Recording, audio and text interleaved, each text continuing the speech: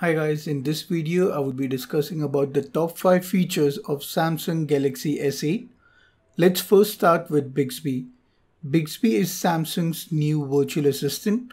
Bixby is a different sort of thing than what you are used to. Siri, Google Assistant and Alexa focus on collecting and understanding information out on the internet and then answering your questions about it. Bixby has been made to do that using information already available on your phone. For example, in the gallery app, you can ask Bixby to show pictures that you had taken in London and Bixby would show you those pictures. Plus, Bixby has built-in image recognition capability. So if you have a picture of a product in your phone, Bixby would give you suggestions about the product, would show you the price and other sort of information about the product by just recognizing the picture. Let's talk about the second best feature of Samsung Galaxy S8, the display.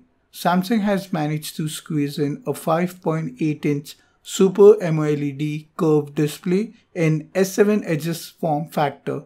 The resolution of the display is 2960 x 1440p. The screen would be protected by Gorilla Glass 5. Samsung has gotten rid of the most popular 16 is to 9 aspect ratio and have put in a display which has a bizarre aspect ratio of 18.5 is to 9. Let's talk about the third best feature of Samsung Galaxy S8, the processor. Samsung has put in the highly anticipated Qualcomm 835 SoC in Samsung Galaxy S8. It's an octa-core chip which has 4 cores running at 2.35 GHz and 4 cores running at 1.9 GHz. It sports an Adreno 540 GPU, which would be a huge improvement over Adreno 530 GPU found in Snapdragon 820 and 821 SoCs. Qualcomm 835 SoC has been built using Samsung's 10nm fab, which means better performance and lower power consumption for better battery life. Let's talk about the fourth best feature of Samsung Galaxy S8, the camera.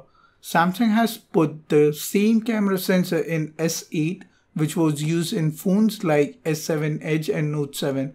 It's a 12 megapixel f1.7 aperture sensor. Samsung S8 camera also sports dual pixel autofocus technology just like S7 Edge and Note 7. Officials of Samsung said that they have optimized the software for S8 camera so that it performs better than its predecessors. Samsung has also put an 8 megapixel f1.7 aperture camera at the front which comes with smart autofocus for selfie lovers. Let's talk about the fifth best feature of Samsung Galaxy S8 and it is called Samsung DeX. Samsung DeX is Samsung's attempt to turn your phone into a desktop when required. Samsung's Galaxy S8 will require a new Samsung desktop experience dock accessory to morph into a desktop PC-like environment.